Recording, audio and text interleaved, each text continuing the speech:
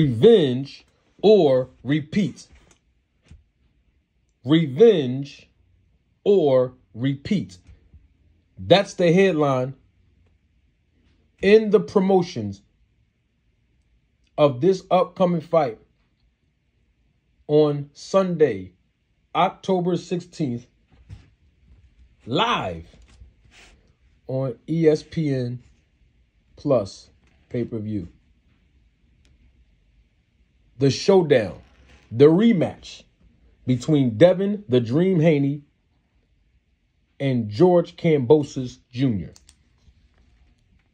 Now, this fight is only a rematch because back in June of 2022, both of these world champions came together and they fought for the winner to become the undisputed lightweight champion of the world, in which Devin Haney gave George Kambosos Jr. more than he bargained for by going all the way to Australia, the hometown of George Kambosos Jr., in enemy's territory, in the lion's den, for less money,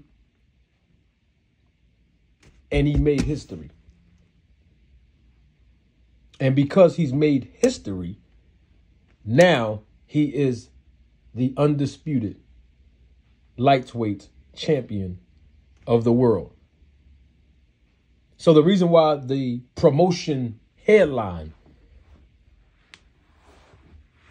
is asking the question of revenge or repeat because either this fight will be George Kambosos' revenge or it will be Devin Haney's repeat of his win. Devin Haney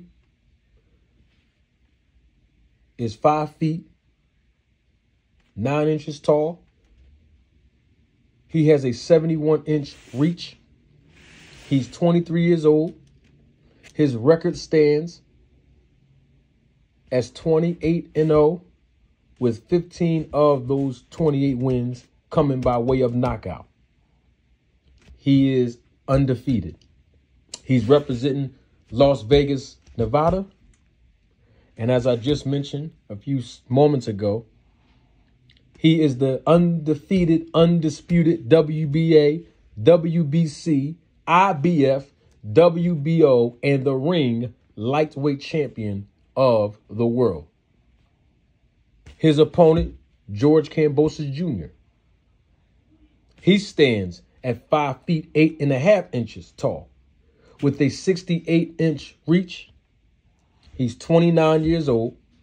His record stands at 20 wins, one loss, and 10 of those 20 wins have come by way of knockout. He is representing his hometown of Sydney, New South Wales, Australia. And he is, as I mentioned a few moments ago, the former WBA, IBF, WBO, and the ring lightweight champion of the world.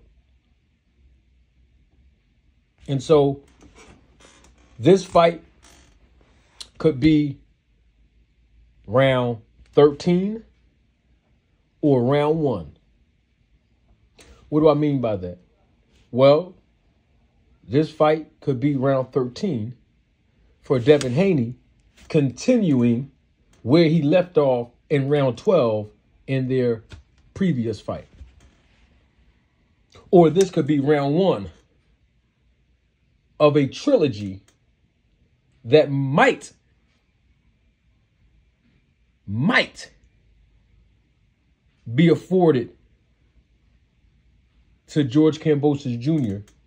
if he's able to win this fight and make this fight even in the win and loss column. And so the destiny of both of these fighters hinge on this fight on October 16th. Now, who will win? What does Devin Haney have to do to win this fight? Very simple. Devin have Dev, excuse me, Devin Haney has to keep that same energy. Yep, that's the saying, right? Keep that same energy. Well, Devin Haney, he has to keep that same energy that he had in the first fight. He has to keep countering every time George Kambosos Jr. lets his hands go to be more desperate in punching and landing punches and being aggressive. All Devin Haney has to do is use that against Kambosos by continuously countering him. Stepping to the side, counter, step to the side. And make this a technical fight like he did in the first fight. Jab, body attack, combinations, get in, get out, elusive defense, and ring generalship. These are the things that Devin Haney already displayed in the first fight. In the first fight. And remember what I just told you guys earlier and girls earlier that Devin Haney went into Australia in the first fight. He traveled from America all the way to Australia to compete in this fight. He went to the lion's den. He rattled the pit bull's cage. He stepped on enemy's territory with one title that he had, but he walked out of enemy's territory. He walked out of the pit bull's cage. He walked out of the lion's den with four additional world championship belts. And so those are the things that he's going to have to do to walk right back out of the lion's den again to walk out of enemy's territory again, to walk out of the pit bull cage again, and maintain all of those titles. Now, what Kambosos need to do to win this fight, he needs to let his hands fly. And I know that he obviously is at a disadvantage if he continues to throw punches because Devin Haney's advantage is him being a great counterpuncher. But he cannot concern himself with that too much because if he overthinks that, he will become gun shy, reluctant to throw punches like he did in the first fight.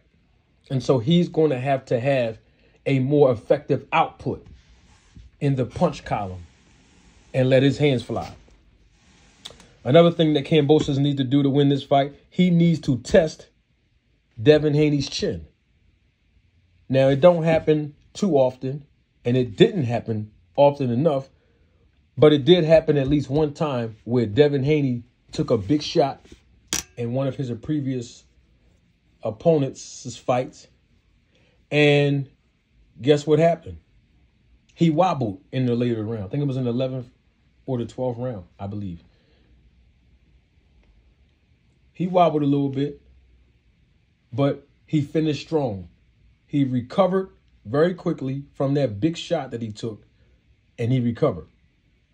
Well, George Kambosos is going to have to test Devin Haney's chin and land punches, not just to the body, but he also has to strategically land punches to Haney's chin so that if Haney responds like he did the first time he got rocked and wobbled, George Kambosos can finish strong because he is a good finisher, especially when he have his fighters hurt like he did against his previous opponent in Teofimo Lopez.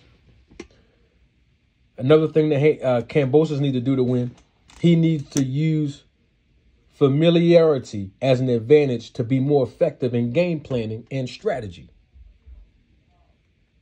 And the reason why I say use that familiarity is because he fought Devin Haney before. He took Devin Haney's best punch. He got outboxed by Devin Haney. He knows what to expect in the second fight because now he can say he knows Devin Haney because he's already been in the ring with him. So use all of those experiences that you already know about Devin Haney to gain an advantage. Everybody knows this. This is no secret. Kambosos is going to have to turn this fight into a war to disrupt the timing and elusive traits of Devin Haney. He's going to have to push Devin Haney to the ropes, the corner, bang him to the body, rough him up a little bit, legally now. Not illegal legal punches, rabbit punches behind the head or low blows or anything of that nature. But legally turn this fight into a war. Legitimately turn this fight into a war. He's going to have to use the crowd as the motivation that's associated with a hometown advantage because basically 98% of people that's going to be there in the crowd is going to be cheering for the hometown hero, Kambosos. So Kambosos need to use all of those elements of crowd participation as motivate as motivation uh, to will him. Sometimes it takes an extra pat on the back. Sometimes it takes a fighter an extra clap or hearing applause or even hearing boos when the fighter's not looking good or doing good to motivate them to press on, overcome, dig down deep to win the fight. And George Kambosos Jr. is going to have to dig down deep. And we've seen him dig down deep against Lopez, which is how he became uh, the unified champion of the world in this division. He's going to have to memorize some of those strategies that he used against Lopez and try to implement some of those strategies against the dream, Devin Haney. This is going to be a good fight while it lasts. And it not necessarily means that this fight is going to go the full 12 rounds. We don't know. But this is why this fight is a good fight. Because usually when people come back from rematches, history has proven time and time again in this sport of boxing that some people do make adjustments. And in a rematch, they look better as a fighter than they did in the first fight based on those adjustments. And then they come out victorious. So we shall see on Saturday on Sunday, October the 16th. Revenge or repeat.